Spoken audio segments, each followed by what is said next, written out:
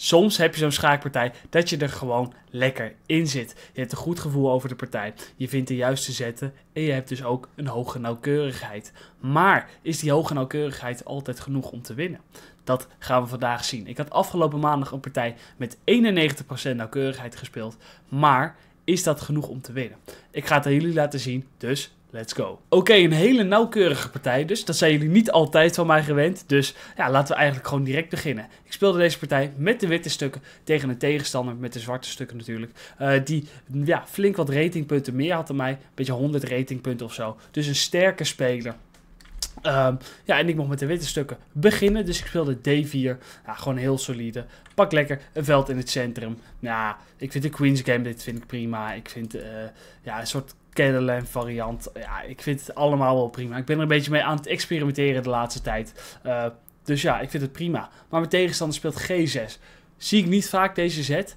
Ja, wel later in de partij, maar niet op de eerste zet. Want dit geeft eigenlijk direct al aan, mijn tegenstander gaat de Kings Indian Defense spelen.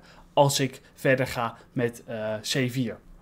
De Kings Indian Defense is een, uh, is een opening als je zeg maar met... Ja, eigenlijk begint hij eerst bij paard uh, naar F6 en dan komt deze zet C4 en dan ga je voor G6. Maar nu deed hij hem al één zet eerder. En toen gaf hij het eigenlijk al een beetje weg. Ja, vaak als de tegenstander paard naar F6 speelt, geeft hij het ook een beetje weg. Maar er zijn er nog varianten dat hij naar de Nimzo Indian kan gaan.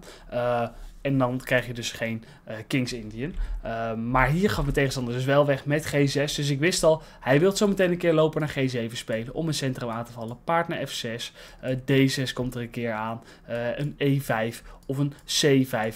Dat soort strategieën ken ik al.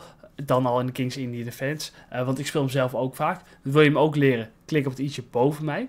Maar voor de Kings Indian Defense heb ik een klein beetje een wapen ja, gevonden. En dat is uh, een beetje zielig, maar dat is de London System.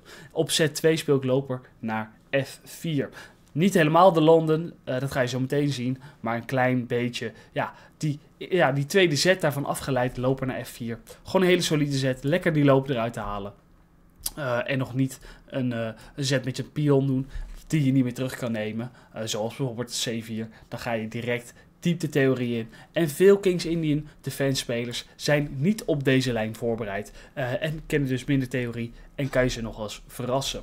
Nou, mijn tegenstander gaat verder met D6. Ja, prima zet, kan hoor. Hij wil zo meteen het centrum aanvallen, maar ik was er nog niet heel bang voor. Want stel je hij speelt deze.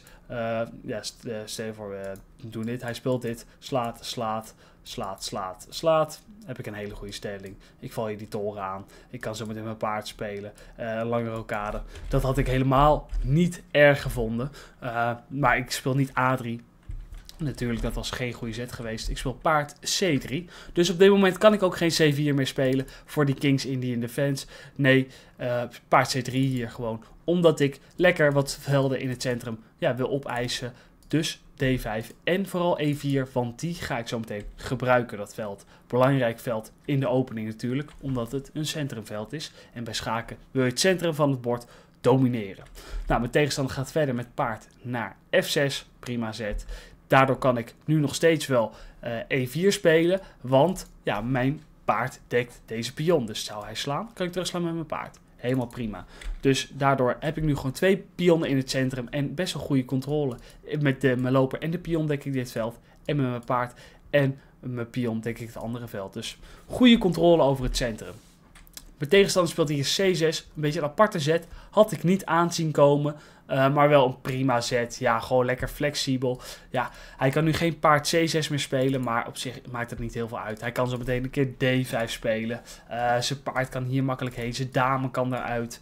Uh, gewoon een hele solide zet. Hij kan B5 ook nog spelen. Hij zorgt ervoor dat mijn paard hier niet heen kan. En mijn loper hier niet heen kan. Dus C6 in de Kings Indian Defense is een prima zet. Ook al zitten we nu niet in de Kings Indian Defense natuurlijk. Maar ja, lijkt wel een beetje op. Nou, ik zat hier even te denken. Uh, het ideetje dat ik namelijk heb in deze opening is om zo meteen dame naar D2 te spelen. En dat hij dan deze zet speelt. En dat ik dan mijn loper hier naar, uh, naar 6 speel om dus zijn zwartveldige loper af te ruilen, wat zijn sterke loper is. En het liefst wil ik dan dat hij al gerokeerd is. Ja, en nu heeft hij nog 1, 2 zetten nodig om te rokeren. Dus als ik nu al met mijn dame hierheen ga, dan laat ik al zien aan mijn tegenstander, ik ga voor die rel. En dan is het niet heel uh, rendabel. Want stel voor, ik zou hem spelen nu. Hij speelt dan toch die of zo. En ik kom hierheen. Ja, dan ja, kan ik slaan, maar hij kan mij slaan. Heeft allemaal niet heel veel zin. Want die koning die kan dan altijd nog lang rokeren. Dus ik wil eerst dat hij ja, de intentie in ieder geval heeft om kort te rokeren. Uh, dan kan ik voor die rail gaan. Dus ik speel je eerst loper naar E2. Prima zet. Mijn loper kan er nu makkelijker uit. Ik kan nog een keer kort rokeren als ik wil. Uh, ja, ik zit nog helemaal niks in de weg. Ook kan ik hier, ik wil de koningshand eigenlijk aanvallen als die kort gaat rokeren. Dus daar helpt mijn loper dan ook nog bij. Dus gewoon een prima ontwikkelingsset. Daardoor lok ik wel deze set uit de tent bij hem. Namelijk loper naar G7. Dus nu speel ik wel dame naar D2. Want zou die kort rokeren hier, ja, dan komt direct die loper erbij. Ja, en dan ga ik met mijn H-pion, met mijn G-pion, met mijn F-pion een keer uh, een beetje druk naar voren geven. Ik ga lang rokeren. Gewoon hele vervelende zetten ga ik doen. En ik ga het hem echt lastig maken op de koningskant. Dan moet hij heel goed verdedigen. Wilt hij dat overleven? Dus zou direct heel spannend zijn. Nou, hij speelt hier H5 interessante zet. Hij laat dus eigenlijk weten van, nou, dat korte rokeren, dat gaat er niet meer van komen. Ik wil echt niet dat jij die lopers afrelt. Dus ik speel H5. Nou, dat is een hele, ja, uh, dwingende zet eigenlijk. Die kan hij nooit meer terugnemen natuurlijk, wat is met een pion. En daardoor wordt eigenlijk zijn hele pionstructuur aangepast en zegt hij al tegen mij, ik ga deze hele partij niet kort rokeren. Dus ik hoef ook niet meer heel veel aandacht te besteden aan een aanval met pionnen op de koningsvleugel. Dus dat laat ik ook een beetje achterwege. Ik rokeer gewoon even lekker lang. Vind ik prima. Kijk, uh, het enige. Kijk, hij zegt eigenlijk ik ga niet kort rokeren, maar lang rokeren gaat ook nog wel even duren, want er staan nog drie stukken tussen. Dus waarschijnlijk blijft zijn koning in het centrum staan en ik heb gewoon een enorm ontwikkelingsvoordeel. Hij heeft twee stukken ontwikkeld, maar ik heb er al 1, 2, 3, 4 en gerokeerd. Dus ik heb gewoon een veel groter ontwikkelingsvoordeel, veel meer tijd. Dus als hij nu gaat uh, beslissen om met pionnen naar voren te spelen op de damevleugel, dan ben ik daar niet heel bang voor, want ik heb genoeg verdedigende stukken hier om die aanval af te stoten. Maar het is wel het plan dat hij moet gaan ondernemen, want anders wordt het heel lastig voor hem in deze partij, omdat ik zoveel meer tijd heb. Dus hij speelt B5. Ja, uh, leuke zet inderdaad. Hij kan zo meteen met A5 vervolgen en dan echt een beetje doorstomen met die pionnen, wat vervelend zou zijn. Uh, maar daar moet ik gewoon een beetje, ja klaar voor zijn. Ik moet het verwachten. Dus ik speel A3. Want als hij hier A5 speelt en hij slaat hier, ja, dan kan ik terugslaan. Uh, slaat hij, ja, dan moet ik wel even oppassen voor dit. Maar kan ik mijn paard, uh, paard hierheen spelen. Ja, krijg ik hier weer wat. Heb ik gewoon genoeg opties. Nou, hier moet ik wel even de goede zet vinden. En die vind ik ook. Hele belangrijke zet hier. E5. Echt een beetje druk in het centrum. Kijk, zijn koning staat nog in het centrum. En als jij een ontwikkelingsvoordeel hebt en de koning van je tegenstander blijft in het centrum staan, moet je in dat centrum aanvallen. Het liefst open je daar lijnen, waardoor je ja, die koning makkelijk kan aanvallen met bijvoorbeeld een toren zometeen hier in de lijn, dat ik direct zijn koning even onder druk zet. Dus ik speel hier E5 om het centrum ook een beetje open te breken. Stel je voor hij slaat, ik sla terug. Ja, dan heb ik ook direct weer dreiging om hier te slaan. Kan hij mij wel slaan. Maar goed, ik val ook nog het paard aan. Dus hij moet hier. Hij heeft eigenlijk twee zetten die goed zijn. Of slaan hier op E5. Eh, e en dan moet ik terugslaan. En dan de dames ruilen. Dat zou een prima plan zijn en dan zijn paard uit, de, ja, uit het gevaar halen. Of hij speelt de zet B4. Een leukere zet, denk ik. Maar wel een dwingende zet. Hierdoor gaat er wat materiaal van het bord af. Waarom? Nou, hij valt mijn paard aan, maar ik val ook zijn paard aan. Dus we moeten allebei even kijken. En op zich is dit wel even een leuke oefening. Gaat wit hier nou echt materiaal winnen? Nou, je kan het bekijken. Het antwoord is nee. Wat je zou denken, misschien als jij het paard slaat, ja, dan sla je door. Uh, slaat zwart ook door. En dan kan je doorslaan. En op de volgende zet sla je dan de toren en maak je een dame. En dat is ook wel zo. En dat is ook wel interessant. Laten we even verder kijken. Slaat. Slaat. Slaat. Slaat hij met dame. Maar dan kan ik een, die toren slaan en een dame terugmaken. Dat zou heel mooi zijn geweest. Alleen je, ja, je moet wel even doorhebben dat als ik sla, hij terugslaat, hebben we allebei een paard. Ik sla een loper, slaat hij met dame, maar hij geeft me ook schaak. Dus ik kan dan niet deze zet spelen. Dat gaat nog niet.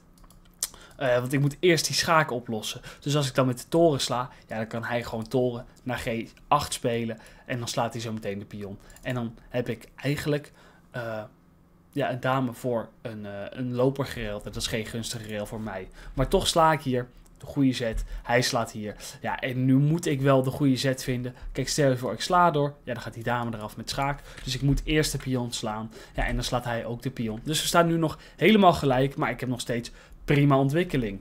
Uh, en ik sta prima voor. Met dame kijkt hij op zich best wel, nou niet best wel gevaarlijk, maar gewoon best wel leuk naar die pion toe. Het enige nadeel wat ik heb is dat hij kan gaan drukken op deze pion, op D4.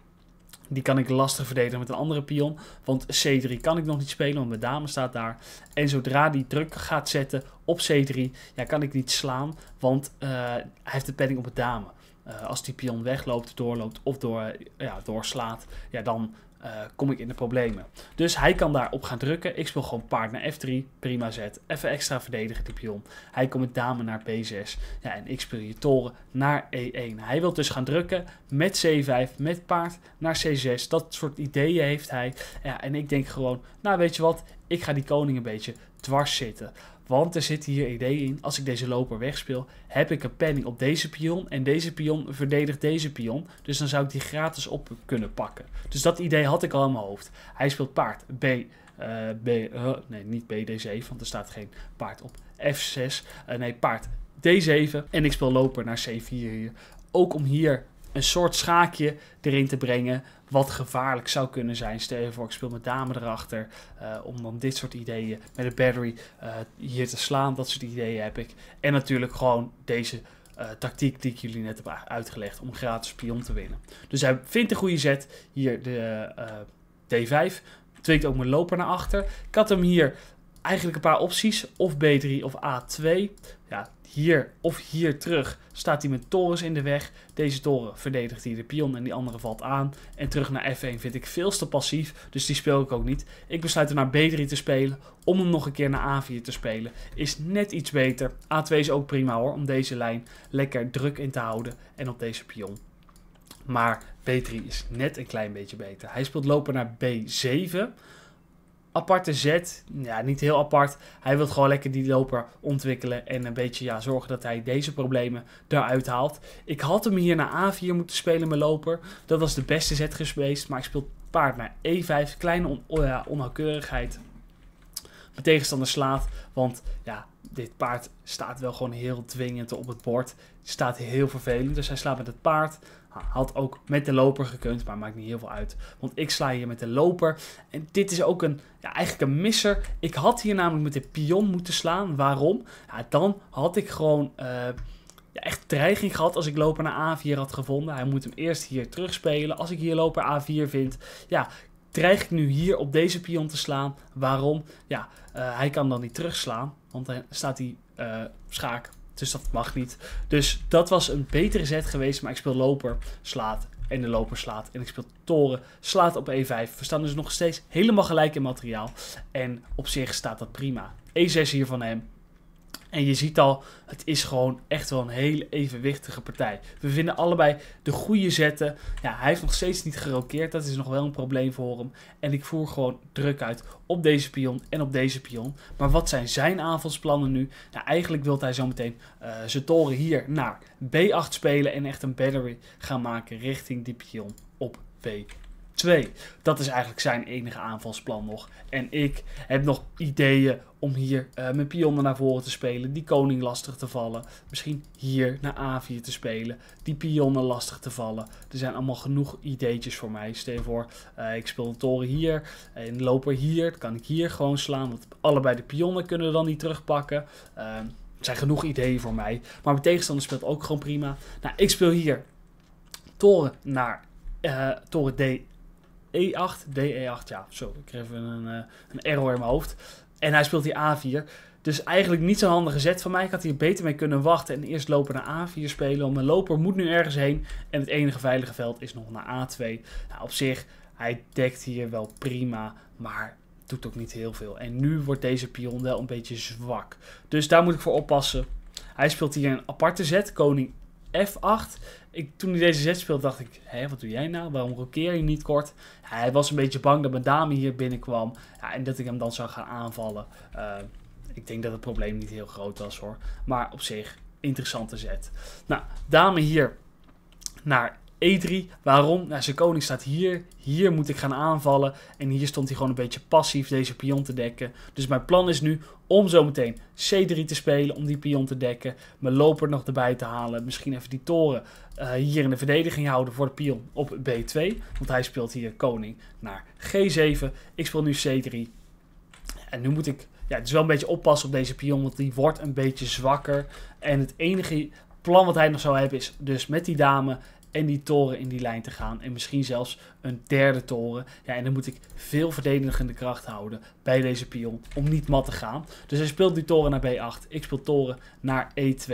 Want ik wil hem voor zijn voordat hij die loper wegspeelde. Want stel je voor, ik uh, zou hem te laat spelen. Ja, ik moet hier iets terughouden. En ik verdedig liever met die toren dan dat ik met die dame verdedig. Want die kan net wat beter aanvallen.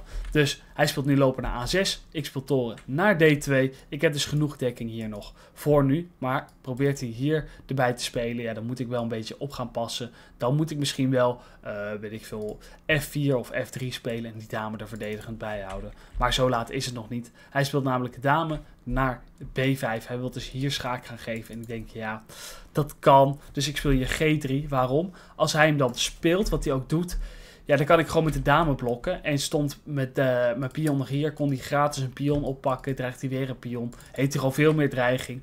Ja, en hier slaat hij de dame. Ik sla terug met de toren natuurlijk. Ja, en hij speelt nog toren naar B7. Ik speel lopen naar B2, naar B1. Ja, en ik, geef mijn, ik bied mijn tegenstander hier remise aan. En die neemt hij ook aan. Waarom? Is gewoon een hele gelijke stelling.